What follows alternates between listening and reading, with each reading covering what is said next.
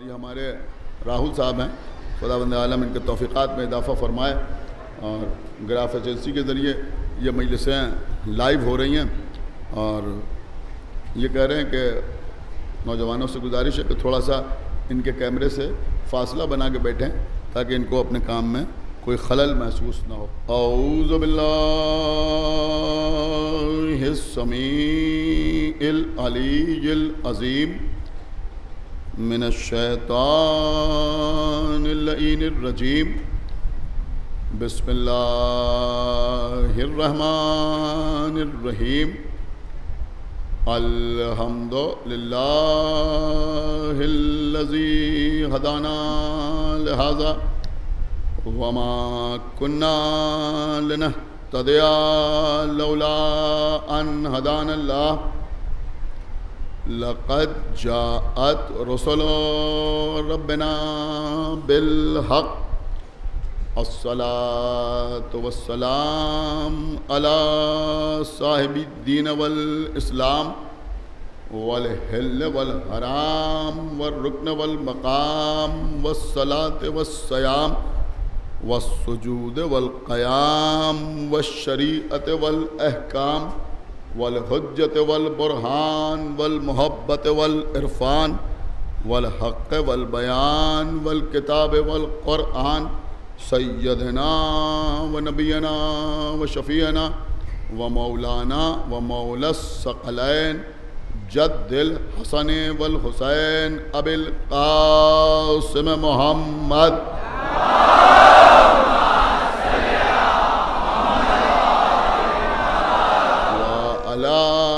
وعلى أهل بيته الطيبين الطاهرين المعصومين المظلومين المنتخبين المنتجبين الذين أذهب الله عنهم الرجس وطهرهم تطهيرا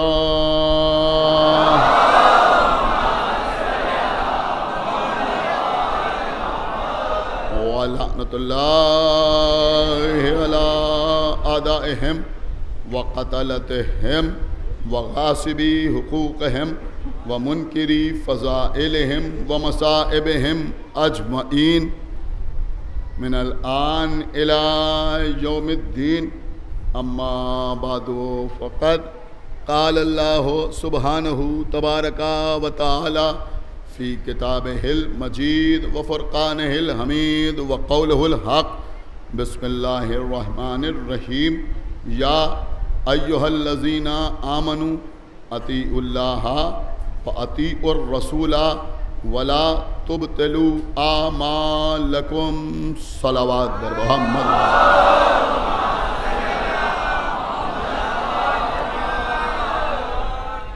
حضرات، ایک دو اہم اعلان اور سماعت فرما لیں کہ آٹھ محرم کو یعنی کل، مقبرہ عالیہ گولہ گنج میں ٹھیک تین بجے مجلس اعضاء منعقد ہوگی۔ آپ حضرات سے گزارش ہے کہ اس قدیم ترین مجلس پہ بھی شرکت فرمائیں۔ مجلس کے بعد قمع و زنجیر کا ماتم بھی ہو۔ اور اس امام باڑے کے سلسلے میں بھی چند اعلانات ہیں۔ ایک اعلان یہ ہے کہ دس محرم کو یہاں فاقہ شکنی کا اہتمام ہوگا۔ آپ حضرات سے گزارش ہے کہ اس پہ بھی شرکت فرمائیں اور مصاب ہوں۔ اور چودہ چوبیس محرم کو یہاں پر شب داری کی مجلس منعقد ہوگی۔ اور اس مجلس پہ برادر بزرگ مولانا علی متقی صاحب قبلہ خطاب فرمائیں گے، آپ حضرات سے گزارش ہے کہ اس پہ بھی شرکت فرمائیں۔ اور پچیس محرم کو یہاں خواتین میں بیمار کربلا امام زین العابدین علیہ الصلاۃ والسلام کا تابوت برآمد ہوگا۔ اور چھبیس محرم کو تعزیہ کی مجلس منعقد ہوگی۔ خواتین سے گزارش ہے کہ ان تمام کی تمام مجالس پہ شرکت فرمائیں۔ ایک صلوات پڑھے بر محمد و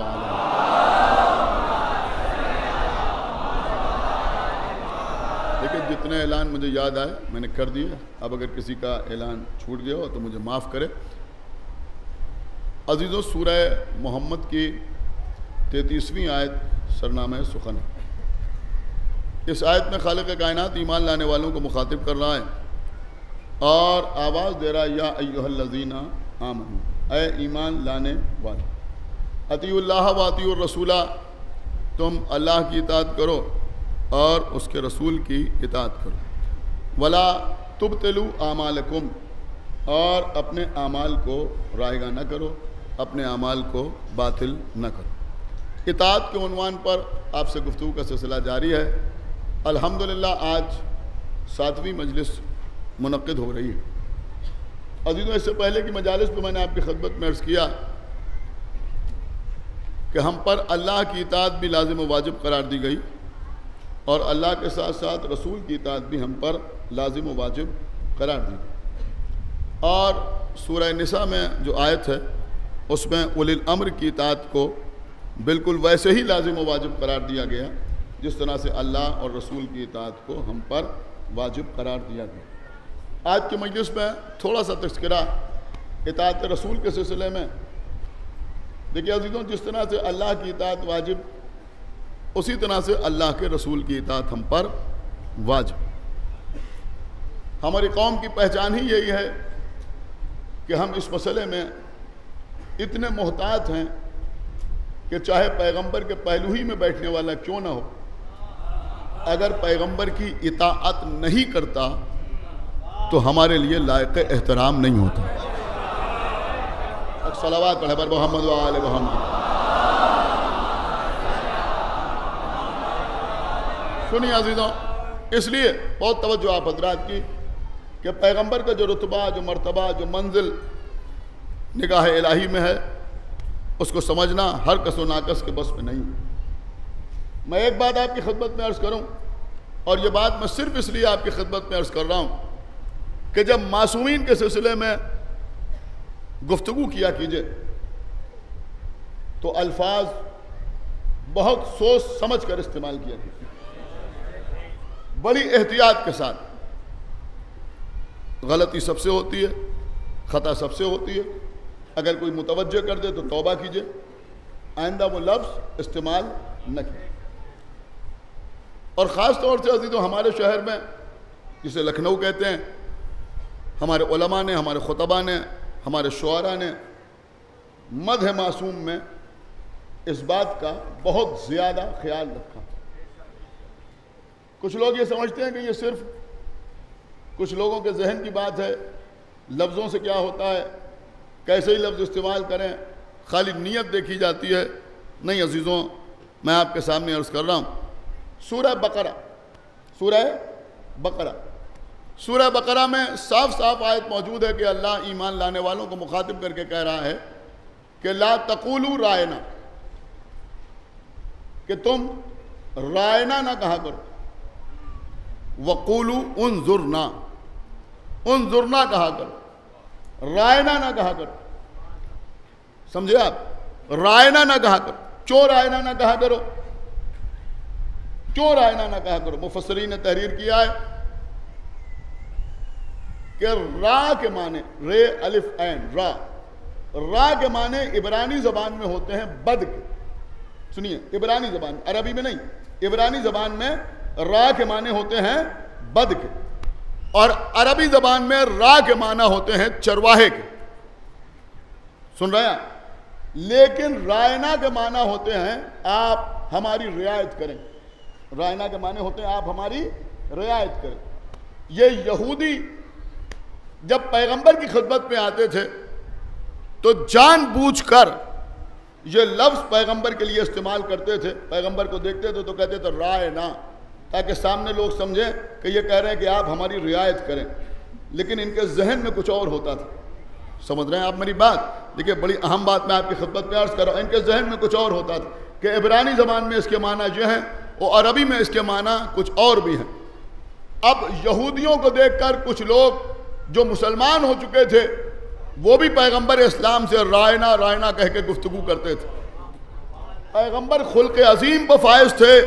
لہذا پیغمبر نے تو منع نہیں کیا، لیکن اللہ کو یہ گوارا نہیں ہوا۔ کیا سن رہا ہے آپ؟ کہ کوئی پیغمبر کی شان میں وہ لفظ استعمال کرے جس کے کوئی معنی غلط بھی نکلتے ہوں۔ لہذا قرآن میں آیت نازل ہوئی کہ لا تقولو رائنا، کہ دیکھو تم رائنا نہ کہا کرو۔ پھر کیا کہا کرو؟ انظر نہ کہا کرو۔ انظر نہ کا مطلب کیا ہوا؟ آپ ہم پر نظر کریں۔ ایک صلوات پڑھے بار محمد یہ بات میں نے صرف اور صرف ایک پیغام کی صورت میں آپ تک پہنچائی ہے کہ محمد و آل محمد کے سلسلے میں یا عزاداری کے سلسلے میں الفاظ بھی سوچ سمجھ کر استعمال کیا کیجیے لیکن سمجھ رہے ہیں آپ؟ سوچ سمجھ کر اچھے الفاظ استعمال کیا کیجیے جو رقیق الفاظ ہیں یا جو ہلکے الفاظ ہیں، وہ اہل بیت اطہار کے لیے چاہے مدھائی کے طور پہ کیوں نہ ہو، استعمال کرنے کی ضرورت نہیں۔ اب سنیے عزیزوں پیغمبر کا مرتبہ کیا تھا؟ میں سمجھتا ہوں کہ پیغمبر کو سمجھنے کے لیے جب تک اہل بیت کے در پناہ آیا جائے، جب تک رسول کی معرفت حاصل نہیں ہو سکتی۔ اب دیکھتا ہوں کہ آپ کیسے سنتے ہیں۔ سنیے، ایک شخص مولا علی کے پاس آیا اور آنے کے بعد پیغمبر اسلام کے سلسلے میں مولا علی سے یہ کہنے لگا کہ میں آپ کے رسول کے فضائل شمار کرنا چاہتا ہوں۔ اللہ اکبر، مولا علی سے کہہ رہا ہے کہ میں رسول کے فضائل شمار کرنا چاہتا ہوں۔ دیکھیں جو سمجھے گا وہ بولے گا۔ می سمزیدی کا نکتہ نہیں ہے، مولا علی کا جواب ہے۔ اور آپ کی داد یہ بھی بتائے گی کہ آپ ذکر رسول کیسے سنتے ہیں۔ سنیے عزیزو، آپ ذکر رسول کیسے سنتے ہیں؟ اور دنیا کو یہ بھی معلوم ہوگا کہ ہمارے یہاں محمد کی مدحہ کا معیار صرف زلفیں اور سرما نہیں ہے۔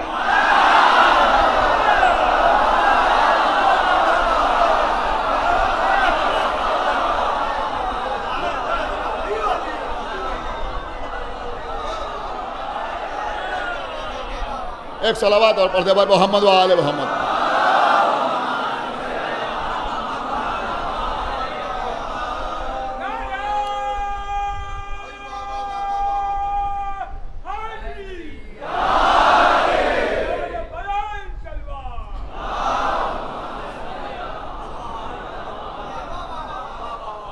دیکھیں قبلہ سرکار باب المراد کا احسان ہے، وہ توفیق دیتے ہیں، ہم محنت کرتے ہیں محنت کا سمارا آپ کی خدمت پہ پیش کرتے ہیں۔ اور الحمدللہ آپ ایسے ہی رسپانس دیتے ہیں۔ پوری توجہ۔ تو اس جگہ میں شمار کرنا چاہتا ہوں کہ پیغمبر کے فضائل کتنے مولا علی نے اس کے چہرے کی طرف دیکھا اور اس کے بعد یہ کہا کہ یہ بتا کہ دنیا میں جتنی چیزیں ہیں، تو نے سب کو شمار کر لیا۔ سنیے۔ کیا سن رہا ہے یہ مجمع؟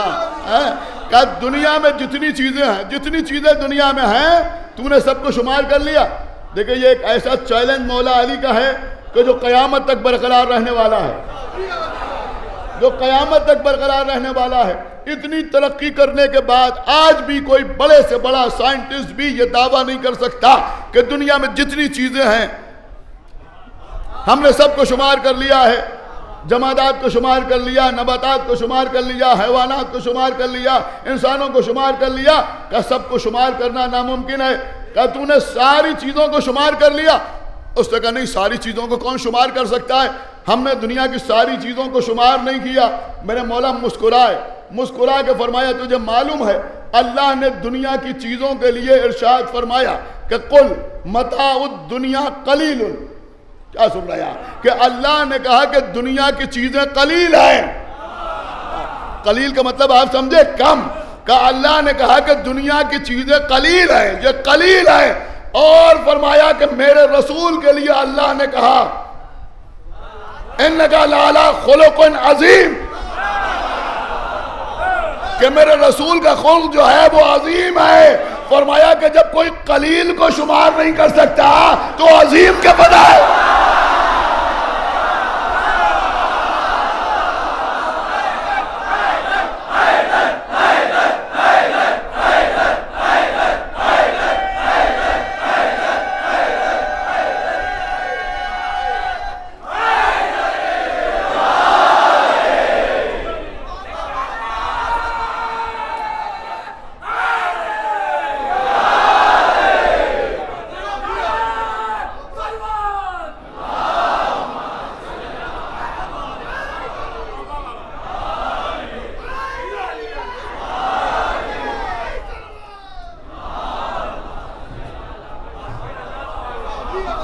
ہے اور پڑھا بر محمد و آل محمد۔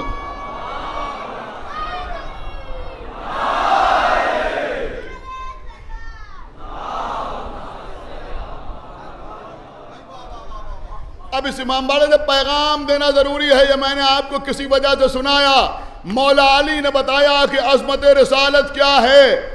محفلیں مقاصد قصید خانیوں کے انعقاد کرنے والے میرا یہ پیغام سن لیں، اگر ان پر اثر کر جائے تو مولا انہیں جزا عطا کریں گے کہ یہ خیال دماغ سے نکال دو کہ غیر نعت پڑھے گا، اپنا نعت نہ پڑھے، پڑھ سکے گا۔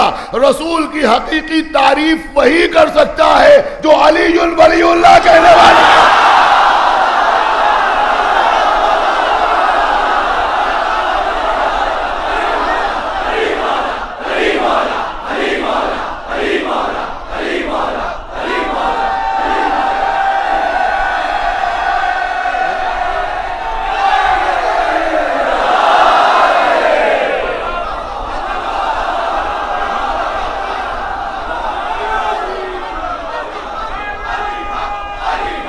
علی حق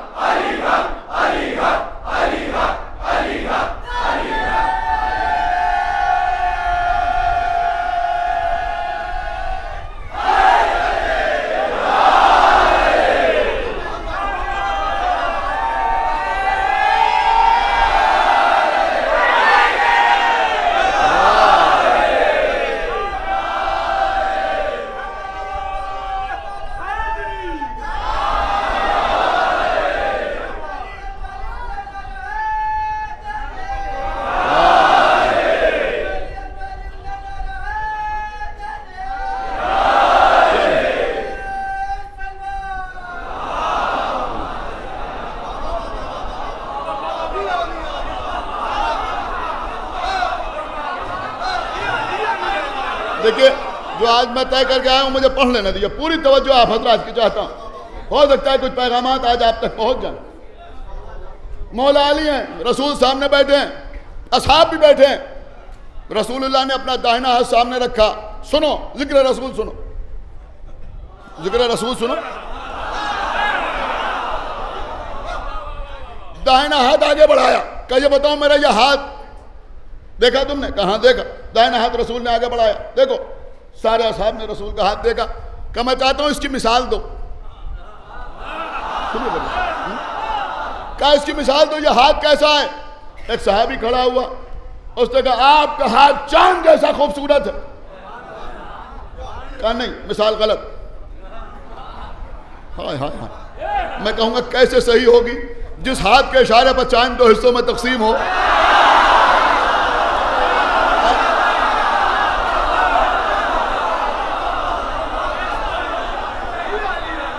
دیکھیے الحمدللہ عزیزوں باب المراد کا بھکاری ہوں۔ انہوں نے اتنا بڑا شرف عطا کیا ہے، اتنا بڑا شرف عطا کیا ہے۔ یہ مجلسیں نہیں، یہ تو پڑھ لیتا ہوں، نوکری ہے یہ۔ شرف انہوں نے یہ عطا کیا کہ باب الحوائج کے روزے پر کچھ دیر تک زائرین کی جوتیاں اٹھانے کا شرف حاصل ہوا۔ اس سے بڑا کوئی شرف نہیں ہے۔ لہذا بہت سی چیزوں سے اللہ نے بے نیاز کر دیا۔ اب فکر نہیں ہوتی کہ کہیں چھپیں نہ چھپیں۔ سن رہے ہیں آپ یا نہیں سن رہے؟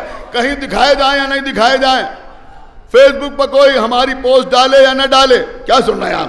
اب اس کی الحمدللہ کوئی فکر نہیں ہوتی۔ بہت توجہ آپ حضرات کی۔ اس لیے کہ ہم نوکری کرنے کے لیے آتے ہیں۔ لیکن میں عرض یہ کر رہا ہوں کہ اس وقت جو میں پڑھ رہا ہوں اس کو ضرور کلپ بنا کے ڈالنا۔ اس لیے کہ تم پر ایک الزام لگتا ہے کہ تم رسول کی مدح کرنا نہیں جانتے۔ اور لوگ کہتے ہیں یہ لوگ رسول کی مدح کرنا نہیں جانتے اور کبھی کبھی کہتے ہیں کہ یہ لوگ مولا علی کو رسول سے آگے بڑھا دیتے ہیں، مولا علی کو رسول سے آگے بڑھا دیتے ہیں۔ خطیب اکبر کا جملہ ہے، لیکن قیامت کا جملہ ہے۔ انہوں نے فرمایا کہ لوگوں کو، دیکھیے آخری آدمی تک جتنے باہر کھڑے ہیں، شاید کوئی بغیر ہاتھ اٹھائے داد نہ دے۔ خطیب اکبر فرماتے تھے کہ لوگوں کو یہ شبہ اس لیے ہو جاتا ہے کہ ہم علی کو رسول سے آگے بڑھا دیتے ہیں کہ رسول کو اپنے جلسوں میں سنتے ہیں، علی کو ہماری مجلسوں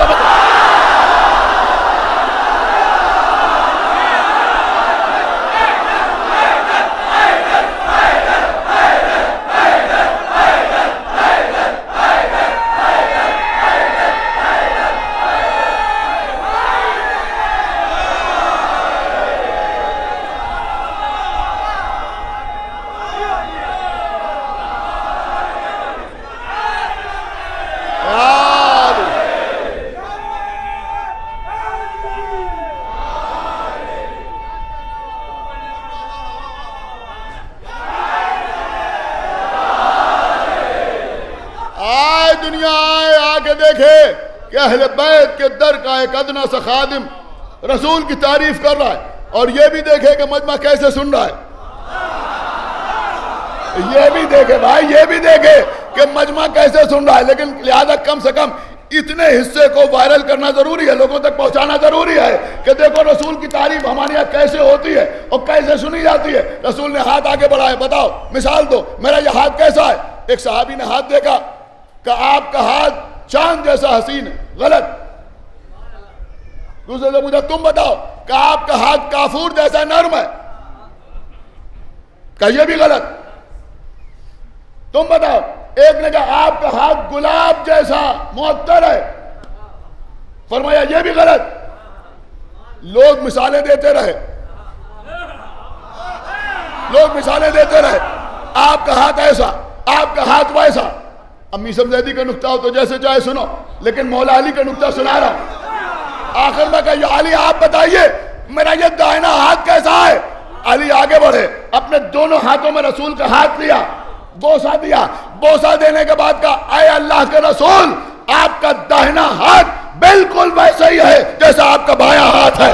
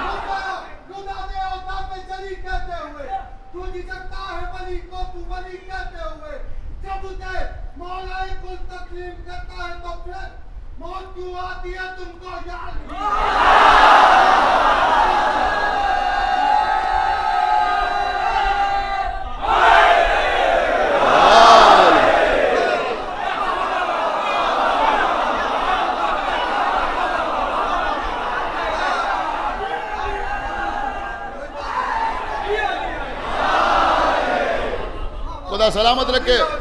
یہاں بیٹھے ہوئے ہمارے بزرگوں کو، ہمارے سعید بھائی کو، دیگر حضرات کو، اس بچے کو، دیگر نوجوان جو یہاں بیٹھے ہوئے ہیں، جناب خورشید صاحب کے فرزندان کو، دیگر حضرات کو، خدا بند عالم، سلامت رکھے عزیزوں، جو بیٹھتے ہیں، یہ بزرگ بیٹھتے ہیں ہمت افزائی کے لیے یہ نوجوان بیٹھتے ہیں، اپنی ایمانی بیزاری کا ثبوت دینے کے لیے۔ سنی عزیزوں، تو جب تک رسول کی سیرت پر نظر نہ کی جائے اس وقت تک اطاعت ممکن نہیں اللہ کی۔ یہ احادیث رسول۔ اب دیکھیے، دے دی آپ نے داد۔ لیکن اب کچھ اہم ترین گفتگو آپ سے کرنا ہے۔ ہمارے یہاں چار کتابیں ہیں، جن کو کہتے ہیں کتب اربا کتب، کتاب کی جمع۔ اربا چار۔ چار ہے نا؟ اصول کافی۔ من لا یحضر الفقی استفسار، تہذیب، یہ چار کتابیں ہیں جن سے ہمارے بڑے بڑے علماء، احادیث معصومین کو عکس کرتے ہیں۔ آج تک کسی نے کسی پانچویں کتاب کو اس میں شامل نہیں کیا۔ لیکن اب ادھر ہم دیکھ رہے ہیں کہ ایک پانچویں کتاب بھی شامل ہو رہی ہے۔ اسے کہتے ہیں واٹس اپ۔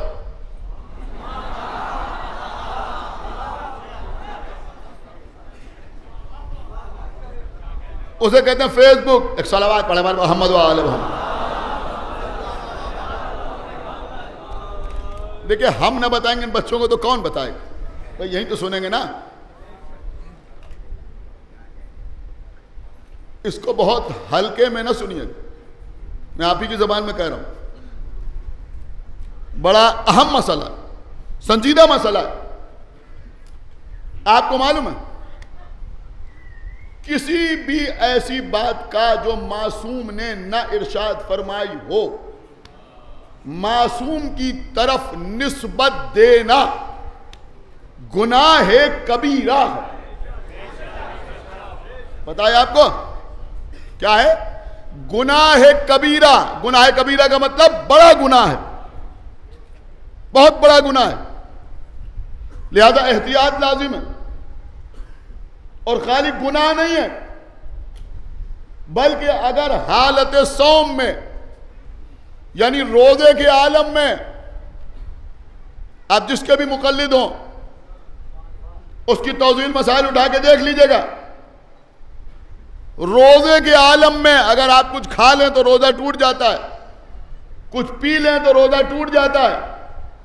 گاڑھا غبار آپ کے گلے کے اندر اتر جائے تو روزہ ٹوٹ جاتا ہے۔ کچھ اور بھی معاملات ہیں جا کے گھر پہ پڑھیے گا، سب ممبر سے بتائے بھی نہیں جا سکتے۔ لیکن ان سارے معاملات میں ایک اہم ترین معاملہ یہ ہے کہ اگر روزے کے عالم میں معصوم کی طرف غلط بات کو نسبت دے دی جائے، تو روزہ ٹوٹ جاتا۔ ہے سمجھ رہے ہیں آپ؟ ایک سلاوات پڑھے بر محمد والے روزہ ٹوٹ جاتا۔ کچھ لوگ سن لیجیے حضرت دیکھیں جب ہم محسوس کریں گے کہ نعرہ لگنا ہے تو ہم کچھ ایسا ضرور پڑھیں گے کہ آپ نعرہ لگائیں۔ لیکن ہم ایک پیغام بھی پہنچانا چاہتے ہیں۔ یہ انگلیوں کو اتنی زحمت نہ دیجیے بہت تیزی سے فارورڈ نہ کیجیے کوئی بات آپ تک آتی ہے تو فوراً اس کو فارورڈ کر دیا۔ امام جعفر صادق نے فرمایا، امام محمد باقر نے فرمایا، گناہ کبیرہ ہے آپ سمجھ رہے ہیں؟ یہاں مسئلہ یہ نہیں ہے کہ بات کیسی ہے، اگر کنٹینٹ بہت اچھا ہی کیوں نہ ہو۔ سمجھ رہے ہیں؟ بات بہت اچھی ہے۔ نماز پڑھیے قبل اس کے کہ آپ کی نماز پڑھی جائے۔ چلیے، جملہ بہت اچھا ہے۔ لیکن آپ یہ کہیے، ہمارے دادا کہتے تھے۔ اگر کسی نے اس جملے کو سن کر نماز پڑھ لی، تو آپ کو ثواب ملے گا، آپ کے دادا بھی مصاب ہوں یہ کہیے کہ ہمارے نانا کہتے تھے۔ جس سے سنا ہے اس کا نام لے کے کہیے۔ لیکن اب آپ یہ کہیے کہ مولا علی فرماتے ہیں۔ کیا سننا ہے؟ دیکھیے، یہ ساری باتیں بچوں تک پہنچانا بہت ضروری ہے کیونکہ معصوم نے اس انداز سے تبلیغ نہیں کی، یہ نہیں فرمایا۔ لہذا اگر آپ یہ کہتے ہیں تو گناہ گار ہوں گے، اور اگر روزے کے عالم میں کہتے ہیں تو روزہ ٹوٹ جائے۔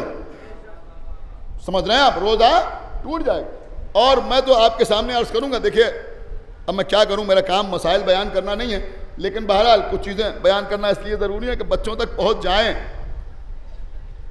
کہ اگر کوئی ایسی پوسٹ آ رہی ہے تو فارورڈ کرنا، تو فارورڈ کرنا، لائک کرنا بھی خطرے سے خالی نہیں میری بات سمجھیے جو میں عرض کروں پہلے کسی سے جا کے تحقیق کیجیے کہ یہ معصوم کی حدیث ہے یا نہیں ہے۔ یہ مولا علی نے فرمایا یا نہیں فرمایا؟ یہ امام حسن نے فرمایا یا نہیں فرمایا؟ یہ امام حسین نے فرمایا یا نہیں فرمایا؟ یہ جو اس طرح کی حدیثیں آپ دیکھ رہے ہیں، لگی ہوئی ہیں کہ امام حسین نے فرمایا کہ مجھے اتنی اذیت نہیں ہوتی، اتنی تکلیف نہیں ہوئی، تیروں سے، تلواروں سے، خنجروں سے، جو بے عمل لوگوں کے آنسوؤں سے ہوتی ہے، کہاں لکھا ایک صلوات پڑھا محمد وآل محمد، کہاں لکھا سمجھ رہے ہیں میری بات؟ معصوم کی طرف غلط بات کی نسبت دینا گناہ کبیرہ گناہ کبیرہ۔ حالت سوم میں کہیں تو روزہ ٹوٹ جائے، اگر روزے کے عالم میں کہیں۔ آپ کو پتہ ہے معاملات کتنے سخت ہیں۔ آج گھر جائیے گا تو اگر توفت العوام رکھی ہو توزیل مسائل رکھی ہو جا کے پڑھیے گا ضرور کہ می سمجھا نے صحیح پڑھا یا غلط پڑھا۔ اتنے سخت احکام فقہ نے بیان کیے ہیں۔ اس سلسلے میں فقہ نے بیان کی۔ سمجھنا؟ اس سلسلے میں کہ اگر آپ نے رات کو، سنیے، رات کو کسی کے سامنے کوئی غلط حدیث بیان کی ماہ مبارک رمضان میں، تو گناہگار تو ہوئے۔ لیکن ظاہر سی بات ہے، رات کو روزے سے نہیں ہے۔ دن میں اگر کسی نے آپ سے پوچھا کہ رات کو جو آپ بیان کر رہے تھے وہ صحیح ہے یا غلط، اور آپ نے کہا صحیح ہے، تب بھی روزہ ٹوٹ جائے صلوات پڑھا محمد وآل محمد۔ سنیے سنیے۔ میں ڈرا ورا نہیں رہا ہوں کسی کو۔ میں آپ کو محتاط کر رہا ہوں۔ میں آپ کو محتاط کر رہا ہوں۔ اللہ جانے آپ کو بات اچھی لگ رہی ہے، بری لگ رہی ہے۔ اور ان بچوں سے کہنا نہایت ضروری ہے۔ آپ زیادہ اس میں بزی رہتے ہیں۔ آپ تو ثواب سمجھ کے کر رہے ہیں۔ لیکن کسی بھی چیز کو جو حدیث کے طور پہ آپ تک آئے، اس کو آگے بڑھانے سے پہلے کسی پڑھے لکھے آدمی سے پوچھ لیجیے کہ یہ ہے یا نہیں۔ اور اگر کوئی حوالہ دے رہا ہے کہ فلاں کتاب میں ہے، تو آپ کو کتاب اویلیبل ہو، تو کتاب میں دیکھیے، ورنہ کسی پڑھے لکھے آدمی کے پاس جائیے، اس سے پوچھیے کہ یہ اصول کافی میں ہے یا نہیں۔ یہ صفحہ نمبر لکھا ہے، دیکھ کے بتائیے، ایک صلوات پڑھے بار محمد وآل محمد۔ یہ علامہ مجلسی نے لکھا ہے یا نہیں لکھا ہے؟ دیکھنا ضروری ہے خبر ایسے آگے نہ بڑھائی۔ میری بات سمجھیے۔ دیکھیے عزیزوں محتاج ہو کے رہنے کی ضرورت ہے۔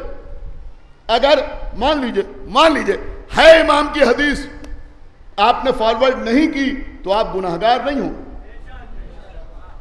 میری بات سمجھ رہے ہیں یا نہیں سمجھ رہے ہیں؟ اگر واقعی ہے، آپ نے فارورڈ نہیں کیا تو آپ گناہگار نہیں ہوں گے۔ لیکن اگر نہیں ہے اور آگے بڑھایا؟ ہاں، ہاں۔ سنیے سنیے قبلہ۔ بس آپ خاموش رہ کے سن رہے ہیں۔ اور میرے یہ بزرگ جو بیٹھے ہوئے ہیں، کم سے کم اس بات کی داد ضرور دیں گے کہ کیسی کیسی باتوں کو میں داد حاصل کر سکتا ہوں۔ مولا کے کرم، سنیے قبلہ۔ یہاں تک مسئلہ ہے کہ اگر حالت روزہ میں سارے حضرات سنیں، یہ بیبیاں بھی سنیں، خواتین بھی سنیں، یہ بھی کبھی کبھی شکایت ہو جاتی ہیں۔ اگر حالت روزہ میں آپ کے سامنے کوئی یہ بیان کرے کہ مثلا چھٹے امام نے یہ ارشاد فرمایا چھٹے امام نے یہ ارشاد فرمایا۔ حالانکہ آپ جانتے ہیں کہ یہ نہیں کہا۔ کیا سن رہے ہیں آپ جانتے ہیں کہ یہ نہیں کہا۔ اگر نہیں جانتے ہیں کہ کہا یا نہیں کہا، تو بس خاموش رہیے۔ لیکن اگر جانتے ہیں کہ نہیں کہا اور اس نے کہا امام نے یہ فرمایا، آپ نے فقط اس کا دل رکھنے کے لیے یا رواداری کی خاطر گردن ہلا دی کہ ہاں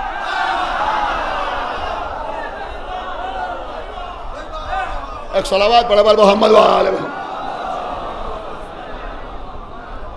خالی گردن ہلا دی کہ ہاں تب بھی روزہ ٹوٹ جاتا ہے میری بات کم سے کم رمضان تک یاد ضرور رکھیے گا سنیے تب بھی روزہ ٹوٹ جاتا ہے خالی یہی نہیں اس کے برعکس بھی ہے کہ معصوم کی کوئی حدیث ہے ہے حدیث مستند ہے آپ مستند عالم سے سن چکے ہیں آپ نے کتاب میں دیکھی ہے لیکن کچھ ایسے لوگوں کے درمیان بیٹھے ہیں جہاں تھوڑی رواداری ضروری ہے۔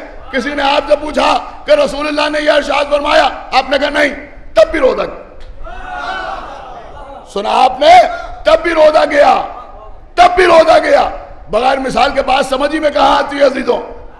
بغیر مثال کے بعد سمجھی میں کہاں آتی ہے؟ آپ کچھ ایسے لوگوں کے درمیان بیٹھے ہوئے تھے کہ جو ولایت کے قائل نہیں تھے۔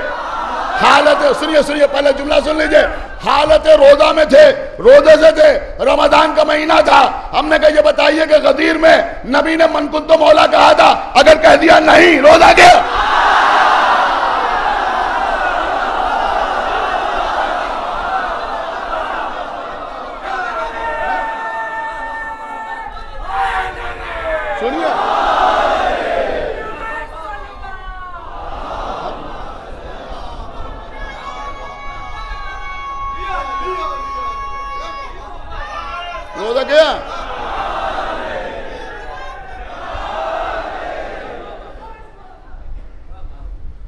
مسئلہ اس سے زیادہ عام ہے کہ معصوم نے نہیں فرمایا۔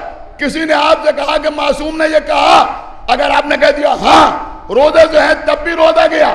کسی نے آپ سے پوچھا، قدیر میں اعلان ہوا تھا، کسی کی خاطر کہہ دیا نہیں، تب بھی روزہ گیا۔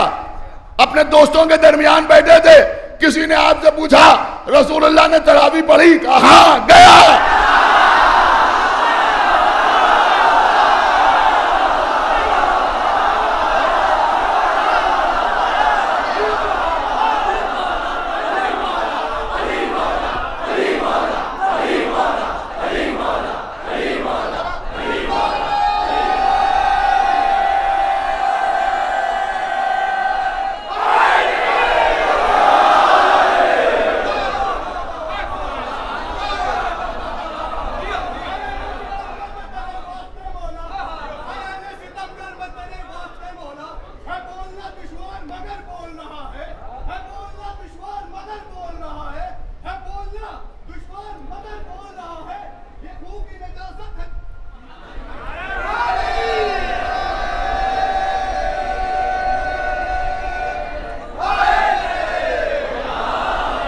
سنیے دیا، سنیے، بس۔ مجھے پڑھ لینے دیے دیکھیے۔ ہاں؟ مجھے پڑھ لینے دیے پوری توجہ آپ حضرات کی چاہتا ہوں۔ کہیں ایسا نہ ہو کہ کسی بات سے مجلس ہی ڈسٹرب ہو جائے۔ آپ کے جذبات اپنی جگہ کے اوپر ہیں۔ جو میں عرض کر رہا ہوں، پوری توجہ کے ساتھ سنیے گا۔ تو حدیث رسول کا معاملہ اتنا سخت اتنا سخت۔ حدیث رسول کا معاملہ۔ اسی طرح سے کسی بھی معصوم کی طرف کسی بات کو نسبت دینا جو معصوم نے نہ ارشاد فرمائی۔ گناہان کبیرہ میں لیکن اس کے ساتھ ایک آسانی بھی۔ آسانی کیا اس مسئلے میں؟ اس مسئلے میں آسانی کیا؟ کہ آسانی یہ ہے۔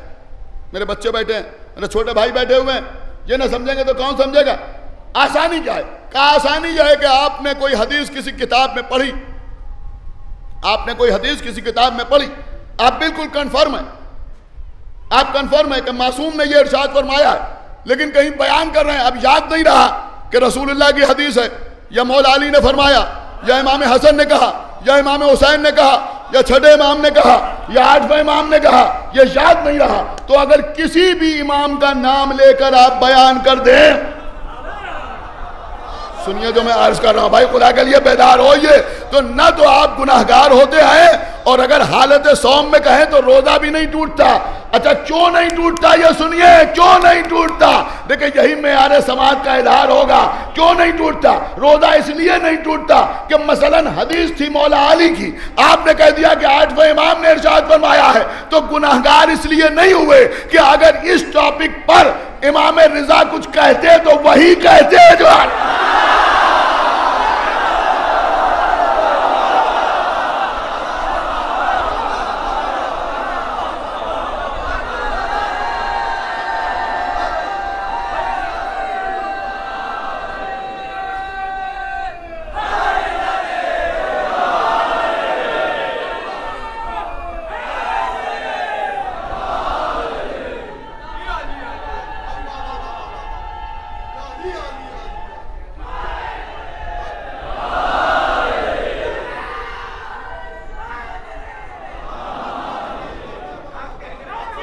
اگر آٹھویں امام کچھ کہہ دو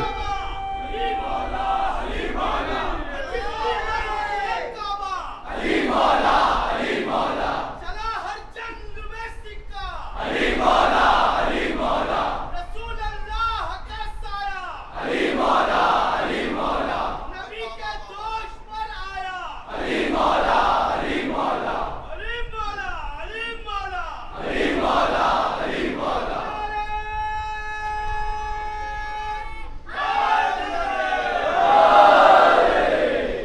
یہ کم عقل یہ کم عقل لوگ کم عقل لوگ معصومی میں فرق پیدا کرنا چاہتے ہیں۔ امام حسن کی سیرت اور تھی۔ امام حسین کا مزاج اور تھا۔ کیوں؟ کیوں؟ کہ اس لیے کہ امام حسن نے سلو کر لی۔ امام حسین نے جنگ کر لی۔ خدا کروٹ کروٹ جنت نصیب کرے خطیب الایمان کو۔ فرماتے تو تم یہی کہتے ہو نا، امام حسن نے سلو کر لی۔ امام حسن نے جنگ کر لی۔ یہ بتاؤ، امام حسن نے سلو کس سے کی؟ کہا کہ میں شام سے کہا جس سے امام حسن نے سلو کی، اس سے امام حسین نے جنگ نہیں کی۔ اور جس سے امام حسین نے جنگ کی، نہیں سننا یہاں اس سے امام حسن نے سلو نہیں کی۔ تو ارے بھیا، یہ نہ کہو کہ بھائی بھائی کے مزاج میں اختلاف تھا۔ یہ کہو کہ باپ بیٹے کے مزاج میں اختلاف۔ اللہ کیوں؟ کہ امام حسن کا مزاج اور۔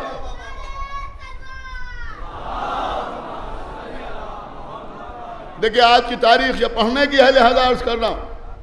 خدا بند عالم غریق رحمت کرے۔ ہمارے شاعر کے بزرگ شاعر تھے، جناب شارب لکھنوی۔ کیا غلب کے شعر انہوں نے فرمایا تھا؟ وہ فرماتے ہیں، طوفان سے قابل، جیسے سمندر میں ہو سکون۔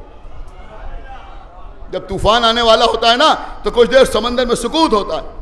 وہ کہتے ہیں، طوفان سے قبل جیسے سمندر میں ہو سکون صلح حسن ایک ایسا خاموش انقلاب ہے۔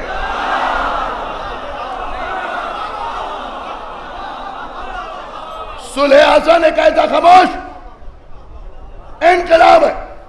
جب امام حسن صلح کر رہے تھے دیکھیں اس سے بہتر جملہ اس سلسلے میں میرے پاس نہیں ہے۔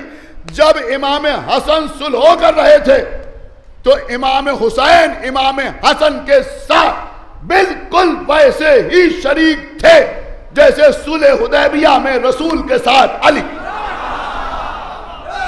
تاریخی بات میں آپ کی خدمت میں عرض کر گیا۔ اور جب حسین جنگ کر رہے تھے، تو جناب قاسم کی شکل میں دیکھیے ابھی میں مصائب نہیں پڑھ رہا ہوں۔ آج ایک بہت اہم بات مجھے آپ کی خدمت میں عرض کرنا ہے۔ جناب قاسم کی شکل میں امام حسن اس جنگ میں شامل تھے۔ جو ان کا مزاج، وہی ان کا مزاج۔ دیکھیں قبلہ آج کل لوگوں کی ساری تحقیق ادا کو نقصان پہنچانے کے لیے سامنے آ رہی۔ ہر رکن ادا پر اعتراض۔ آج کی تاریخ نہ پڑھوں گا تو کہاں پڑھوں؟ گا ہو سکتا ہے بہت سے لوگوں کو مجھ سے اس موضوع پر بولنے کی توقع نہ ہو۔ لیکن میں بول رہا ہوں۔ جن کا نمک کھایا ہے، ان کے حق میں بولنا ضروری ہے۔ اب لوگوں کی سمجھ میں مہندی نہیں آ رہی۔ یہ مہندی کیا ہے؟ گستاخیاں کی جا رہی ہیں۔ ایک بات میں بچوں کو اور بتا دوں کہ مہندی میں اور مہدی میں بڑا فرق۔ یہ سمجھ لیجیے اللہ جانے کہنا چاہیے، نہیں کہنا چاہیے، لیکن کیونکہ اردو باقاعدہ وینٹیلیٹر پہ ہے، لہذا یہ بتانا ضروری ہے۔ یہ مہندی جو ہے، مہندی۔ میم، ہے، نون ڈال یہ۔ ہاں؟ اگر رومن انگلش میں بھی لکھیے آپ، تو M E H N D I Mehndi. اور جو امام کا نام ہے، اس میں نون غنہ نہیں ہے۔ اور وہ مہدی بھی نہیں ہے، بلکہ وہ ہے مہدی۔ میم، ہے، دال، جے اور میم پر زبر یہ یاد رکھیے گا لکھتے وقت۔ سمجھ رہے ہیں آپ؟ اگر انگریزی میں لکھ رہا ہے، رومن انگلش میں لکھ رہا ہے امام کا نام، تو M A H D I. A H. ایک صلوات پڑھے بر محمد و آل محمد۔ وہ مہندی اور یہ لگانے والی مہندی اور ہے اور امام کا نام جو ہے وہ مہدی ہے، مہدی۔ ایک صلوات پڑھے امام کے نام بس۔ اب بھائی مجلسوں میں یہ باتیں بچوں کو نہ بتائی جائیں گی تو بھی کہاں بتائی جائیں؟ لیکن اب میں مہندی ہی کی بات کر رہا ہوں۔ دیکھیں ہم نے بچپنے سے مجلسیں سنی۔ اور میں آپ سے بھی گزارش کروں گا کہ اپنے بچوں کو مجلسوں میں لے کے ضرور آئیے۔ سنیں بچے مجلس۔ بچپنے سے مجلسیں سن سن کے بڑے ہوں گے۔ تو دینی معلومات میں کسی تو پیچھے نہیں رہیں گے۔ ہم نے بچپنے سے مجلسیں سنی ہیں۔ ہم آپ کے سامنے عرض کر رہے ہیں۔ جناب قاسم کی شادی۔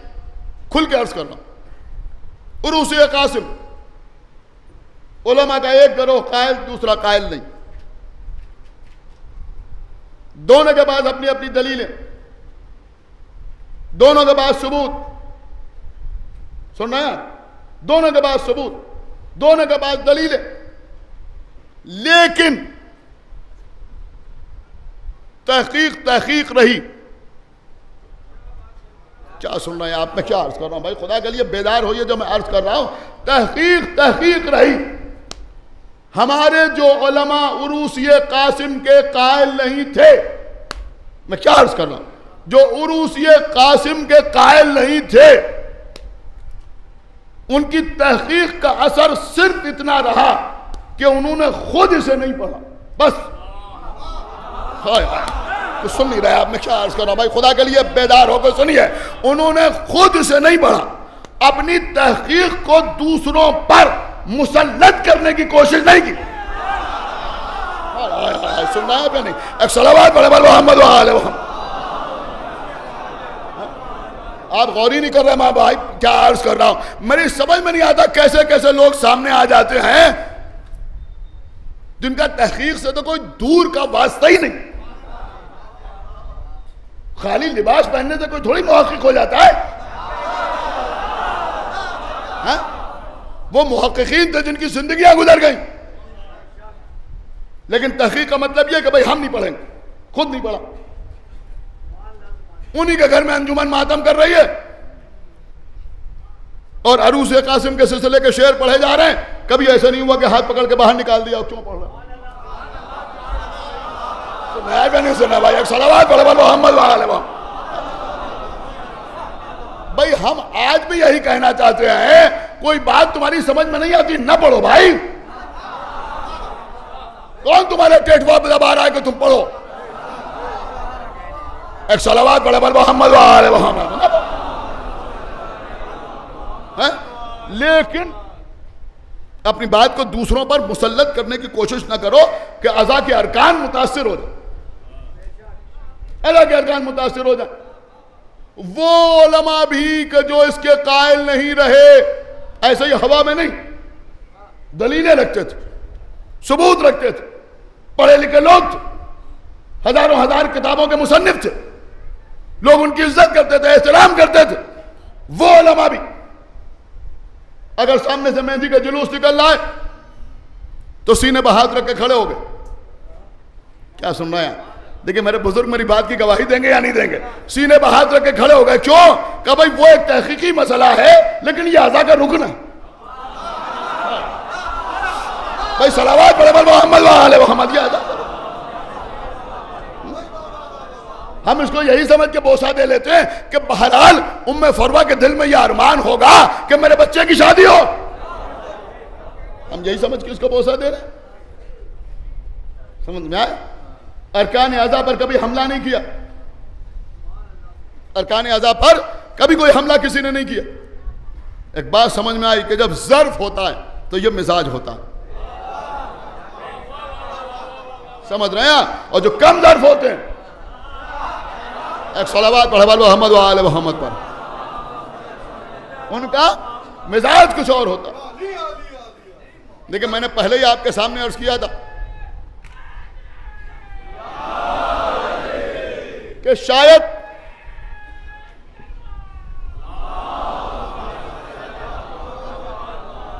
میرے خیال میں آپ حضرات مجھ سے بھی خوب اچھی طرح واقف ہیں۔ شاید میرے جیسے ذاکر سے اس بات کی توقع کسی کو نہ ہو کہ وہ یہ پڑھے گا۔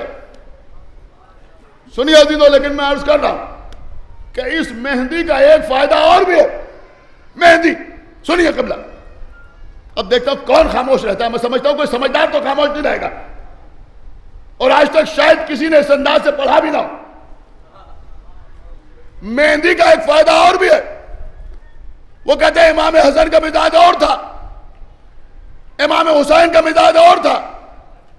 میں نے ابھی آپ کے سامنے عرض کیا کہ صلح امام حسن میں کربلا چھپی ہوئی ہے۔ اب بھی کہیں پہنچے یا نہیں پہنچے؟ خدا کے لیے بیدار ہوئیے۔ صلح امام حسن میں کربلا چھپی ہوئی ہے۔ اور اس کا اظہار کربلا کے میدان میں جناب قاسم کی شہادت سے ہوا۔ جب بازو پر تعویذ باندھا گیا۔ سن یا نہیں سن رہا؟ خدا کے لیے بھائی، بیدار ہو کے سنیے۔ انشاءاللہ آپ مصاب ہوں گے۔ جناب قاسم کے بازو کے تعویذ نے بتایا کہ جنگ کربلا میں امام حسن بھی شریک ہیں؟ یہ مہندی بھی منصوب ہے جناب قاسم سے۔ وہ جو بحث ہے اس وقت مجھے اس میں نہیں پڑھنا ہے۔ یہ مہندی بھی جناب قاسم سے منصوب ہے۔ یہ مہندی بھی بہت کچھ بتاتی ہے۔ کیا سن رہے ہیں یہ مہندی بھی بہت کچھ بتاتی ہے۔ ارے بھیا، آپ نہ سمجھیں گے تو کون سمجھے گا؟ امام حسن سے منصوب جو رنگ ہے، وہ ہے سبز۔ خدا کے لیے بھیا بیدار ہو جاؤ۔ اور امام حسین کا پسندیدہ رنگ ہے سر سنا آپ نے، صلح امام حسن کی علامت ہے سبز رنگ۔ کیا سن رہے ہیں آپ؟ کربلا میں حسین خون سے نہائے ہوئے ہیں، وہاں علامت ہے سرخ رنگ۔ میں نے کیا آپ کے سامنے عرض کیا؟ امام حسن کی سلحوں میں کربلا چھپی ہوئی ہے۔ اب بھی سمجھ میں مہندی نہیں آئی۔ کیا سن رہے ہیں بھائی خدا کے لیے بیدار ہوئیے اب بھی سمجھ میں مہندی نہیں آئی۔ ارے بھیا، مہندی کو سامنے سے دیکھو تو سبز نظر آتی ہے۔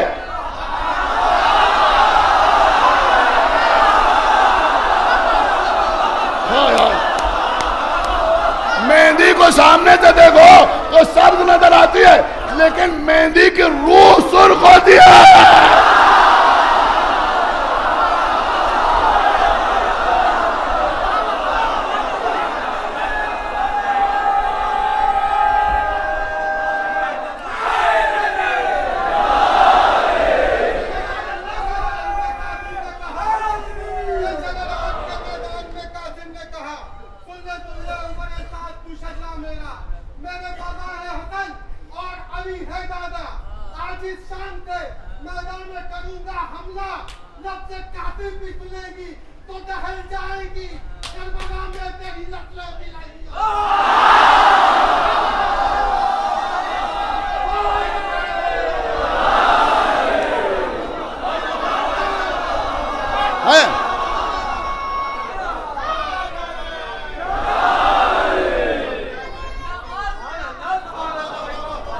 کیونکہ امام حسن کی صلحوں کے سبز رنگ میں چھپا ہوا سرخ رنگ قاسم کی صورت میں ظاہر ہوا۔ اس لیے مہدی جناب قاسم سے منسوب آئے آئے آئے آئے آئے۔ کیا سن رہے آپ؟ اس لیے مہدی جناب قاسم سے منسوب ڈاکٹر عین الحسن بنارسی کا شعر سنیے۔ میں مسائب آپ کی خدمت میں عرض کروں، وہ فرماتے ہیں مہندی کا رنگ مہندی کا رنگ سبز بھی ہے۔ یعنی ہرا۔ مہندی کا رنگ سبز بھی ہے۔ اور سرخ بھی یعنی مزاج شبر و شبیر ایک ہے۔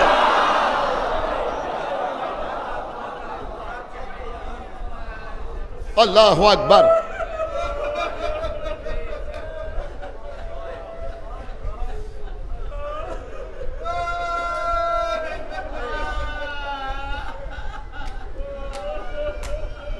تیرہ برس کے قاسم۔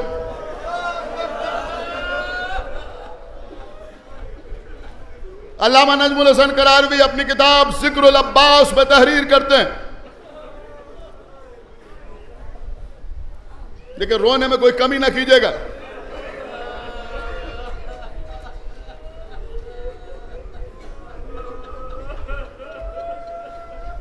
ایک یتیم کا ماتم ہے۔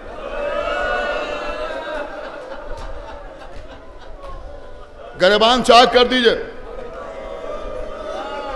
اس لیے کہ جب قاسم میدان میں آئے تو حسین نے گریبان چاک کر دیا۔ شب عاشور۔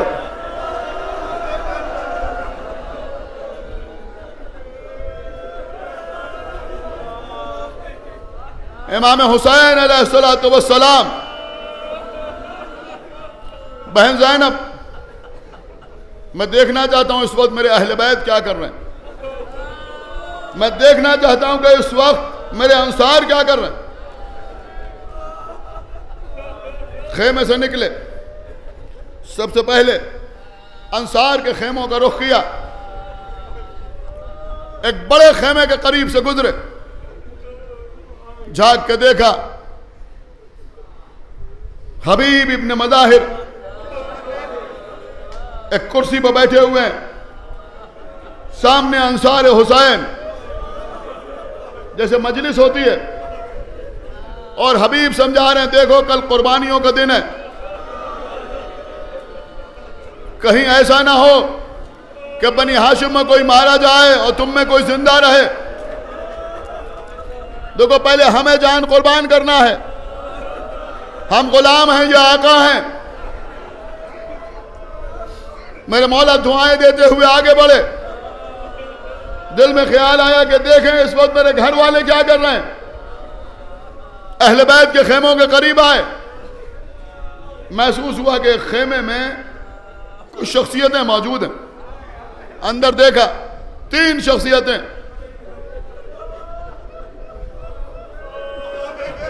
سنیں گیا ایک مولا علی کا بیٹا عباس۔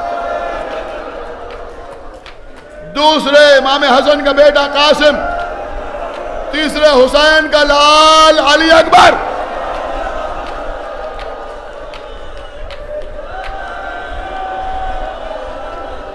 سنا، علی اکبر کہہ رہے ہیں، چچا جان، میرے امو، کل سب سے پہلے میں بابا پر جان قربان کروں گا۔ حضرت عباس سے منہ پر ہاتھ رکھ دیا، نہیں بیٹا، نہیں۔ ایسی باتیں نہیں کرتے۔ میرے لال، جب تک یہ چچا زندہ ہے، تم کیسے میدان میں چلے جاؤ گے؟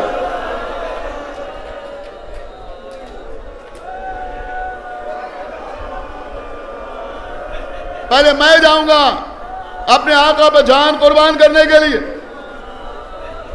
اے چچا، اگر آپ میدان میں چلے گئے تو بابا کی کمر شکستہ ہو جائے گی۔ کم میرے لال، سوچو تو، اگر تم مارے گئے تو میرے آقا کی آنکھوں کی روشنی جاتی رہے گی۔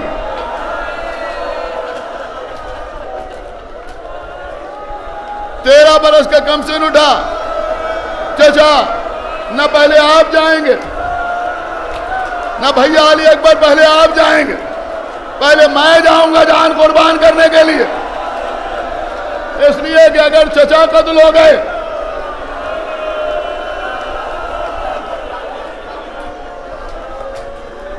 تو ہمارے امو حسین کی کمر شکستہ ہو جائے گی۔ اگر بھیا علی اکبر مارے گئے، تو ہمارے امو کی آنکھوں کی روشنی جاتی رہے گی۔ لہذا پہلے میں قربانی دوں گا۔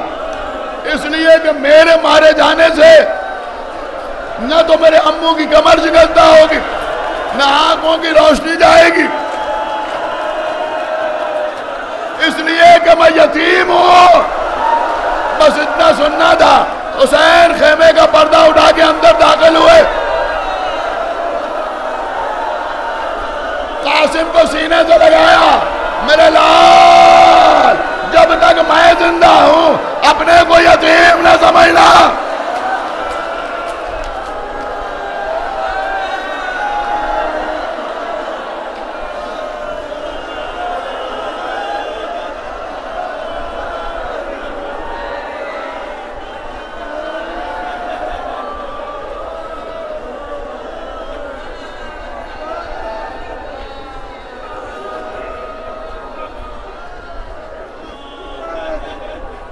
دیکھیں مجھے پڑھ لینے دیجیے۔ کوئی کمی نہیں کرنا چاہتا۔ اندر علم کی الماری کے پاس اور سامنے جو خواتین بیٹھی ہیں، ان کو بی بی زینب کا واسطہ۔ جب تک مجلس تمام نہ ہو، کوئی خاتون کھڑی نہ ہو۔ اور اگر کوئی خاتون اٹھنے کی کوشش کرے تو برابر والی خاتون اسے بٹھا دے۔ مجھے مسائب پڑھ لینے دی۔ آپ کے اٹھنے کی وجہ سے آنسوؤں میں کمی نہ ہو۔ تیرہ برس کے قاسم۔ حسین کے سامنے حسین کے بھائی کی تحریر لیے کھڑے ہیں۔ بیٹا قاسم کربلا کے میدان میں میں نہ ہوں گا۔ میری طرف سے تم حسین پر اپنی جان قربان کر دینا۔ قاسم کو سینے سے لگایا۔ اتنا روئے اتنا روئے کہ بے ہوش ہو گئے۔ کچھ دیر بعد چچا بتیجے ہوش میں آئے۔ حضرت عباس سے گھوڑا لے گیا ہے ارے بھائی، میں نے بڑی آسانی سے پڑھ دیا کہ عباس گھوڑا لے گیا ہے کس دل سے گھوڑا لے گیا ہے یہ تو آقا عباس جانے ہے۔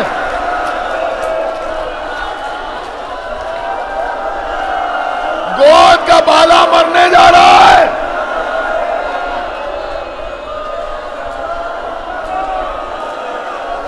قاسم کو گھوڑے پر سوار کیا۔ پاؤں رکابوں تک نہیں پہنچ رہے۔ رکابوں کو پلٹ دیا۔ اب قاسم کے باہر رکابوں تک پہنچے۔ جاؤ میرے لال، خدا حافظ۔ پلٹے۔ چچا عباس، امو حسین۔ ذرا میری جنگ دیکھیے گا۔ میدان میں آئے، رجس پڑا۔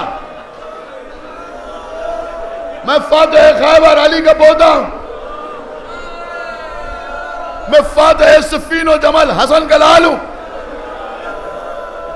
میں حسین ابن علی کا جانسار ہوں۔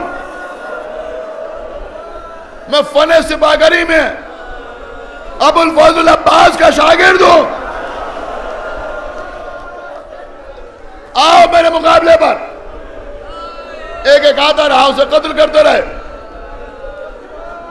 ازرق شامی کے سات بیٹوں کو قتل کیا۔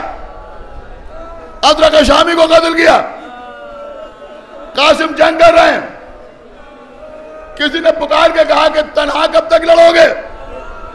سارا لشکر قتل ہو جائے گا۔ مل کے حملہ کرو۔ فروا کے چاند پر شامی فوجیں ٹوٹ پڑے۔ تلوار چلاتے ہوئے آگے بڑھ رہے ہیں۔ بس ابھی تو انشاءاللہ آپ روتے ہوئے اٹھیں گے۔ تلوار چلاتے ہوئے آگے بڑھ رہے ہیں۔ خدا لانت کرے، ایک شخص پیچھے سے آیا۔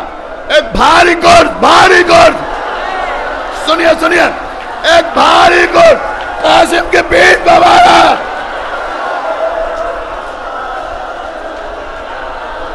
شہزادہ زمین کی طرف آیا۔ یا ماں ادرکنی اے چچا!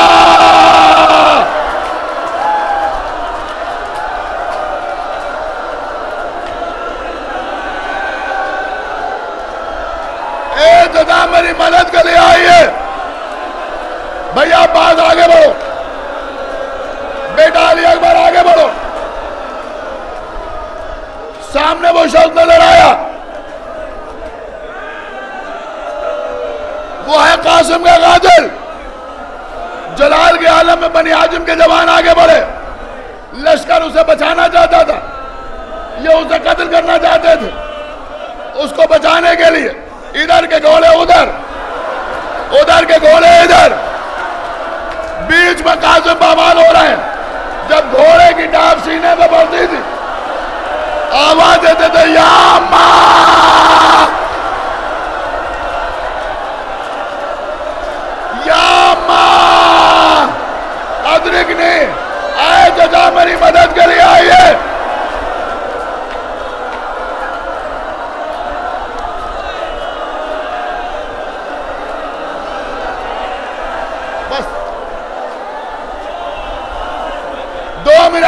منٹ مجلس تمام یا ہے جزا میری مدد کے لیے آئیے اب بنی حاجم کے جوانوں کا حملہ۔ بنی حاجم کے جوانوں کا حملہ۔ ابھی تو اس سے پہلے بھی پڑھ چکا ہوں۔ اس سے بہتر مثال میرے پاس کوئی اور نہیں ہے۔ ابھی مجلس کے بعد شبی نکلے گی۔ جناب قاسم کے پامال لاش کی شبی نکلے گی۔ شبی پر پھول بھی چڑھائے جاتے ہیں۔ آپ دیکھیں گے ہزاروں ہاتھ سبھی کو بوسا دینے کے لیے آگے بڑھتے ہیں۔ کچھ پھول فرش پکڑ جاتے ہیں۔ جب تک مجمع رہتا ہے شبی نکلتی رہتی ہے۔ جب مجمع چھٹ جاتا شبی خواتین میں چلی گئی۔ ماتم کرنے والے ماتم کر چکے۔ اب خالی سفید چاندیاں دکھائی دے رہی ہیں۔ کچھ محتاط قسم کے لوگ آگے بڑھتے ہیں۔ جو گلاب کی سر رنگ کی پنکھڑیاں پڑی ہوئی یہاں، وہاں وہاں وہاں وہاں۔ کیا ہوتا ہے؟ بیٹھ گئے۔ چننا شروع کیا۔ گلاب کی پنکھڑیوں کو آپ چن رہے ہیں۔ کیوں؟ کہ یہ تابوت پہ چڑی ہوئی تھی۔ ارے جب کربلا میں حسین نے حملہ کیا، قاسم بامال ہو گئے۔ جو یہ بنی عاجم کے جوان قریب آئے، فوجوں نے فرار کیا۔ اب جو فوجوں نے فرار کیا، کربلا کی زمین سامنے آئی، جگہ جگہ، قاسم کی لاش کے ٹکڑے۔ قاسم کی لاش کے ٹکڑے۔ ارے حسین نے آبا کو پر زمین پر بچایا قاسم کی لاش کے ٹکڑوں کو اٹھایا۔ یہاں سے یہاں سے، وہاں سے۔ قاسم کی لاش کو حسین نے جمع کیا۔ بس ایک ہی جملہ کافی ہے۔ بس ایک ہی جملہ کافی ہے۔ رونے کے لیے حسین نے اون محمد کے لاشا اٹھایا۔ حسین نے اون محمد کے لاشا اٹھایا۔ حسین نے عباس کا لاشا اٹھایا۔ حسین نے اکبر کا لاشا اٹھایا۔ حسین نے حبیب ابن مظاہر کا لاشا اٹھایا۔ حسین نے حر کے بیٹے کا لاشا اٹھایا۔ حسین نے حر کا لاشا اٹھایا۔ سن سکیں گے آپ؟ حسین نے سارے لاشیں ایک جگہ سے اٹھائے۔ حسین نے سارے لاشے ایک جگہ سے اٹھائے، لیکن قاسم کا لاشا ایک جگہ سے نہیں اٹھایا۔ لاش کے ٹکڑے اٹھاتے جاتے ہیں، کہتے جاتے ہیں، میرے لال، تم پکارتے رہے۔ مجھے آنے میں بڑی تاخیر ہو گئی۔ واہ محمدہ، واہ علیہ۔